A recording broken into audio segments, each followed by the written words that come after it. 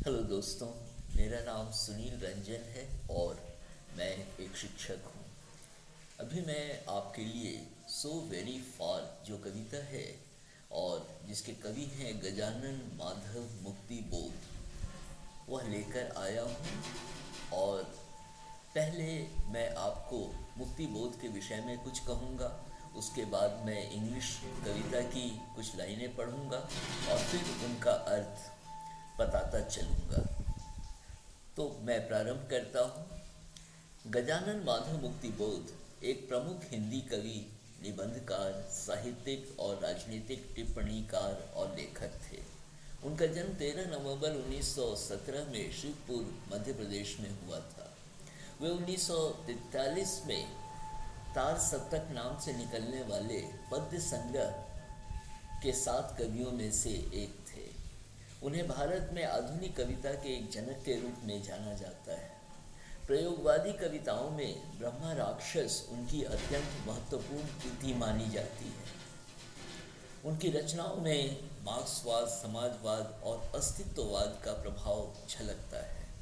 उनकी संपूर्ण रचनाओं का संकलन 1980 में प्रकाशित मुक्ति बोध रचनावली में है।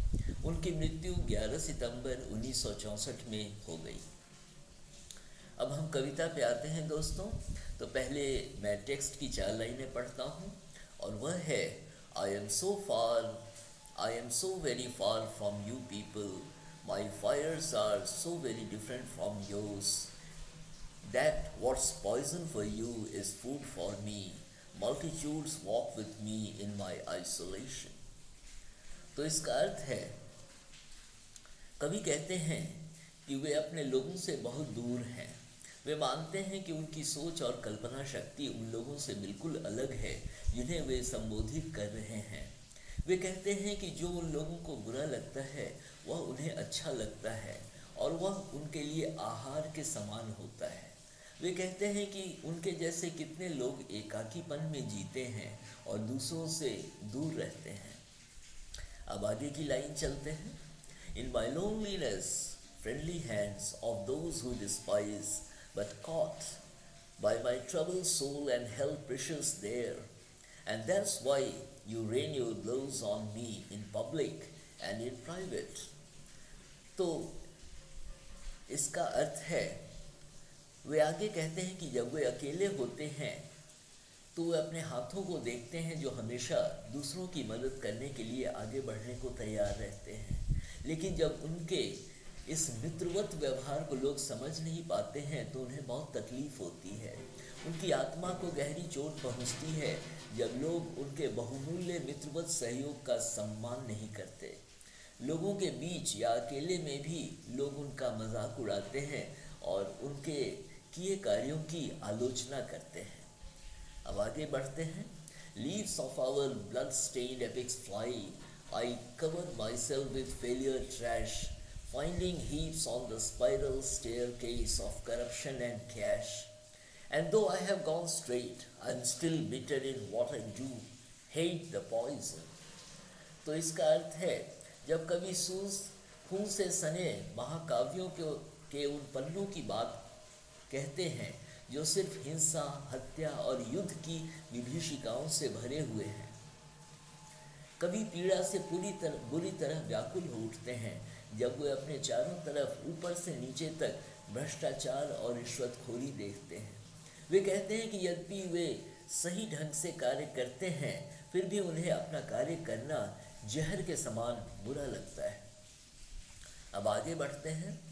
For whatever one has one want something better to see the whole world clean you need a scavenger and I am not him And though someone inside me roars each day that no work in unclean if the man be true, that no work in unclean if the man be true, the work still grim.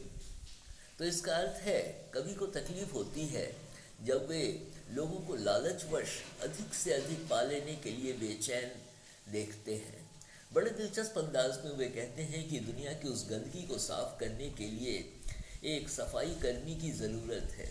फिर वे कहते हैं कि उन सफ़ाई कर्मियों में से वो एक नहीं है।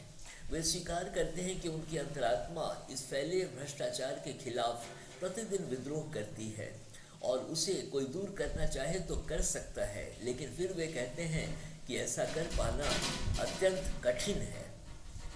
अब आगे चलते हैं। Beyond the world and its end products refrigerators vitamin radiograms There's my famished daughter in her intestines, annoying nothing, in her lungs, the shame of those who have nothing. Only sufferings imprisoned by the nothings is true. तो यहाँ कवि दुनिया में बनी वस्तुओं को देख उनसे उत्पन्न अपनी सोच और दर्शन की बात करते हैं वे कहते हैं कि शारीरिक और भौतिक आवश्यकताएँ, जैसे रेफ्रिजरेटर, विटामिन और रेडियोग्राम, मानव जीवन को सुविधा दे रोचक बनाने में मददगार साबित होते हैं। लेकिन इनके अलावा भी बहुत सारी बातें होती हैं, जिन पर लोगों का ध्यान जाना ज़रूरी है। वे अपनी बेटी की बात करते हैं, जिसे मानव जीवन को देख बहुत तकलीफ़ होती है। उसकी अंतड़ी अंतड़ियों में उसके फेफड़ों में दर्द होता है। वह बहुत दुखी हो जाती है जब वह लोगों को अपने चारों तरफ़ पीड़ा से छटपटाते हुए देखती है। उसे मानव सभ्यता पर शर्म आती है जिसने ऐसे लोगों को जिनके पास कुछ भी नहीं है उन्हें उनके बुरे हाल पर जीने के लिए छोड़ दिया है। अब आगे की लाइन है All else is unreal, untrue, a delusion, deceit. The only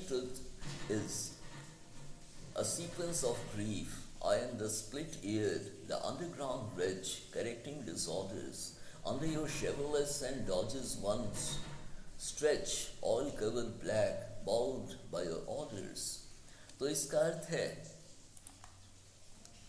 लोगों को बुरी हालत लोगों की बुरी हालत और पीड़ा और दयनीय मानव जीवन को दिल की गहराइयों से महसूस कर कवि अपने अंदर की आग को बाहर निकालते हुए कहते हैं कि सब कुछ असत्य, अवास्तविक और भ्रम है। एक धोखा है लोगों के साथ, और जो सत्य और नंगी सच्चाई है, वह सिर्फ़ गरीब और हाशिए पर रहते लोगों का दुख और उनकी पीड़ा है। उन्हें लगता है कि उनके कान फट पड़े हों, उन गरीबों की पीड़ा और व्यथा को सुनते सुनते वे देश की व्यवस्था के खिलाफ विद्रोह करने और भूमिगत हो हमला करने और व्यवस्था को सही करने की बात भी सोचने लगते हैं। वे शेवलेट और डॉजेस वन जैसी महँगी कारों में घूमने और गरीबों का शोषण कर विलासिता का जीवन जीने वाले अमीरों की बात करते हैं। कवि कहते हैं कि वे अमीरों के आदेश को अब बिल्कुल नहीं मानेंगे, जो गरीबों का शोषण कर उन्हें असीम पीड़ा देते हैं। वे अब कभी काले तेल से सने और पीड़ित व्यक्ति की तरह नहीं, अमीरों से शोषित होते हुए रहेंगे कभी। तो मुक्ति बोध की यह कविता समाज के अमीर वर्ग द्वारा गरीब वर्ग के शोषण पर लिखी सामाजिक टिप्पणी है, जिसमें कवि गरीबों की दयनीय स्थिति की बात कहते हैं।